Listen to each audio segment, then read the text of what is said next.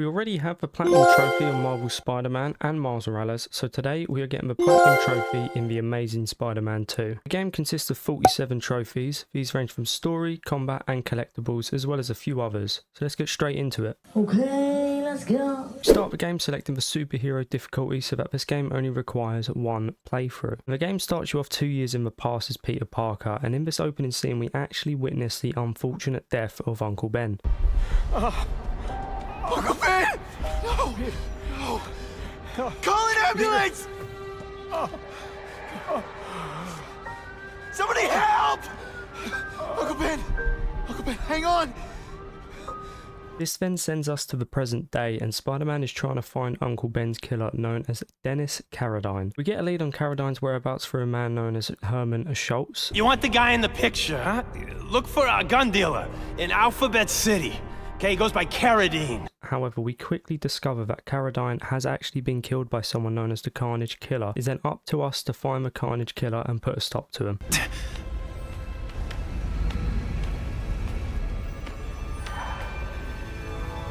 My God!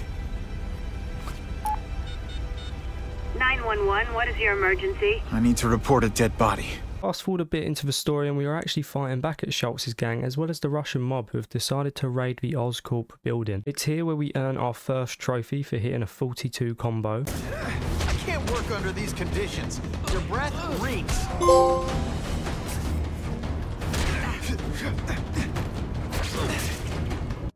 And after fighting our way through a few waves of enemies, we then come face to face with Schultz, who is now calling himself the Shocker after he stole a pair of Vibro Shock gauntlets. This brings us to our first boss fight of the game. The boss fight as a whole was not challenging, in fact there were a few stages to it. The first stage is just a standard one-on-one fight, and after getting Shocker to half health, he then brings up these pillars which we just need to pull him down from to then fight him on the ground once again.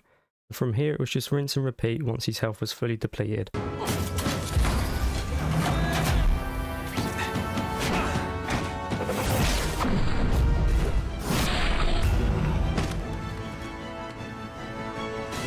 This then rewards us with the shocking trophy, and after the cutscene we also earn another trophy, and this one is for unlocking the Seismic Blast ability. We then go for one of the worst trophies I've ever gotten in a video game. Scattered around the map there are these comic book pages, and for the trophy Bookworm you have to collect all 285 pages. This honestly took me a few good hours to do and almost made me stop playing the game entirely, so I was that fed up when it came to the end of it. We then went for the True Hero trophy, and for this you just need to reach max heroism at any point in the game. Unlock this naturally as the next set of missions in the game will just show me the different criminal activities and the side missions that appear in the open world. We are then introduced to gang hideouts, and these are areas on the map that are scattered about filled with a handful of enemies who are guarding a Spider-Man suit for some reason. Clearing all of these gives you a trophy, but the trophy we actually earn here is for completing a hideout without alerting any of the guards. Bit further on in the stories where we earn the lightweight champion trophy and this is earned by defeating 100 enemies. And at this point in the story we have met and are now teaming up with Kraven the Hunter in order to find the Carnage Killer. After tracking him down we confront him and he reveals his name to be Cletus Kasady. This leads us to our next boss fight which is ridiculously easy and after promptly defeating Kasady we earn the Is It Over trophy. I told him you'd never be like me. Come to Papa. Kasady is then arrested and taken to the Ravencroft Institute, where he is then experimented on with venom. Good day, Mr. Kasady. My name is Donald Menken. I want to assure you that you are a most valued guest here at Ravencroft. We're going to learn a lot from you. And I'll learn a lot from you. Answers you don't even know you have. Eager. I like that. Well then, let's get started, shall we?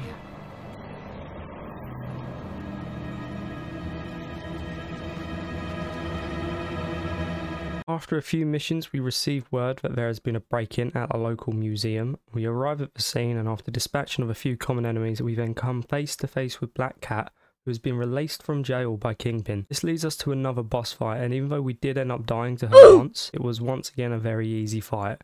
We quickly dispatch the Black Cat, which in turn earns us another trophy for doing so. I kinda feel like you don't respect me.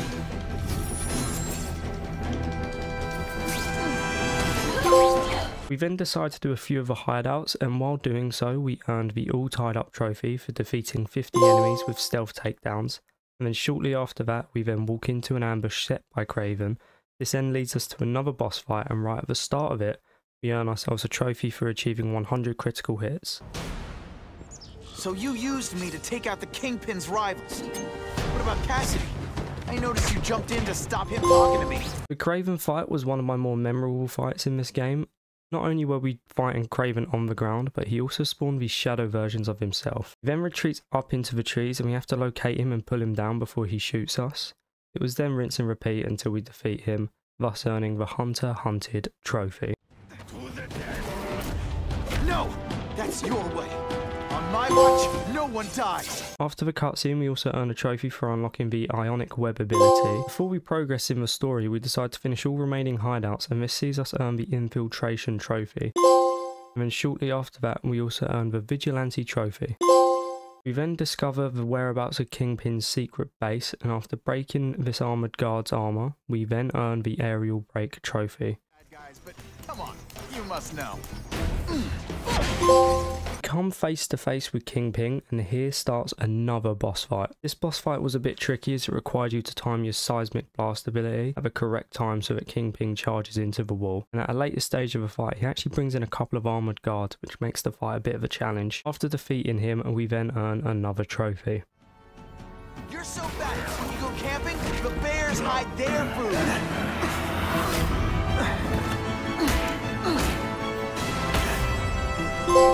We then come face to face with Electro and this starts yet another boss fight. I kid you not, this is pretty much what happened straight after the Kingpin fight. Again, like the other fights, this one wasn't too difficult. It actually did have three stages to it. The first is where we just have a standard fight against him on the street, web him up and attack him, rinse and repeat. We then have a little chase scene against him which takes us to the third stage, which is basically stage one again, but this time on a roof and Electro has a few different abilities. After beating him, we earn his trophy, and we then see a scene which sees Harry Osborn receive the spider venom that in turn transforms him into the Green Goblin. Yeah. Mr. Osborn, you were right. Fisk is buying up Oscorp stock for a hostile takeover. But as long as you're here, I'm confident we can stop it. Right. As long as I'm here. I have it, sir. Ah. Richard Parker's spider venom formula. But every time it's been used, there have been serious side effects. More serious than death? I'll take my chances. Now get out! We also see another cutscene showing that Venom has reacted to Kasady's body. Dr. Kafka, is that supposed to happen? No. I'll shut it down.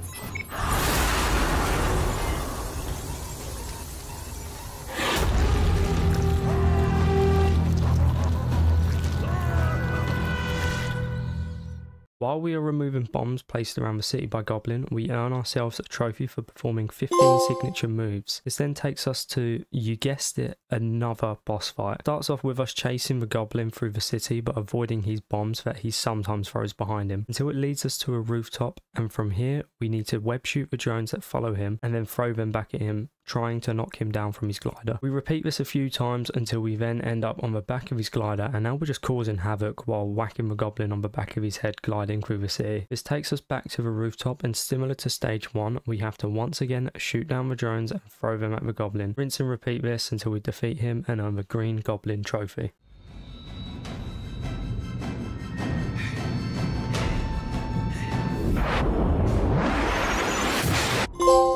We then head over to Ravencroft after hearing the news about Kasady. Upon arriving there, it's all out war between some of the criminals and some of the forces already there.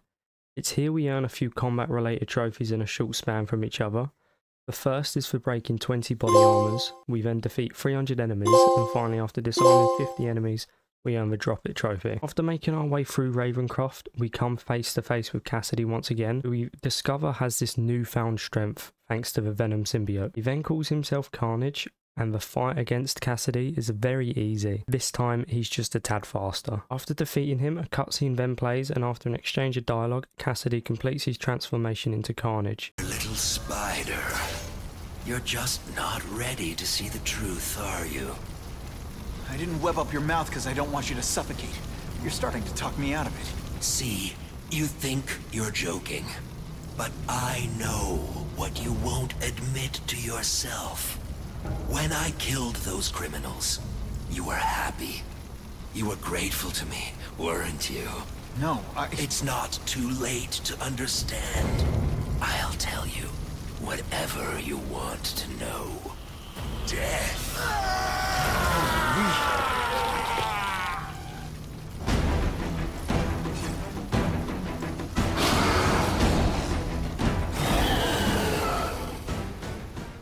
This fight, like the others, wasn't difficult. All we had to do was keep finding a way to get Carnage into the fire as this deals significant damage. While doing so, we also earned the Friendly Fire trophy, and after a few minutes of repeating the same thing, we eventually beat Carnage and earned the Now It's Over trophy, as well as all three trophies for beating the game on the required difficulty.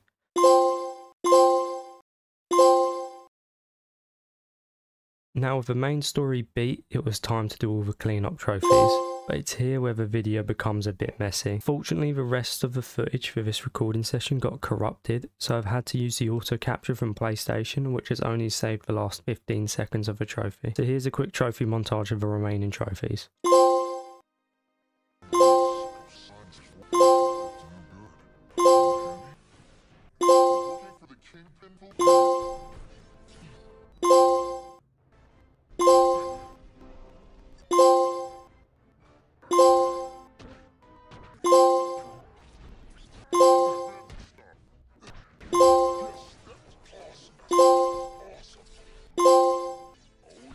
This now leads us up to the Platinum Trophy, and the final trophy that we need is to reach maximum level for all suits. There are a total of 13 suits in the game, and the max level is 8. Alright, I've literally been at this for hours. I have got every single suit to max level bar one. We are finally on the final suit, and I thought, what better suit to end it on than my personal favourite suit, the Amazing Spider-Man 2012 suit from the first film and the first Amazing Spider-Man game.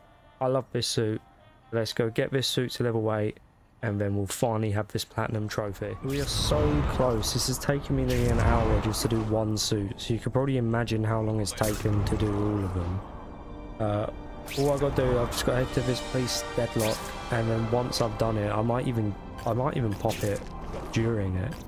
But once I've done it, uh, the XP that you earn from it should be enough for me to be level 8 and and finally get the last two trophies we need. But I genuinely think this guy will Gotta be shut uh, this down now.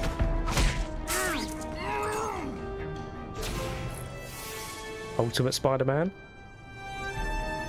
which is reach maximum level for all suits. So does everything a spider can. It is done. Amazing Spider-Man 2.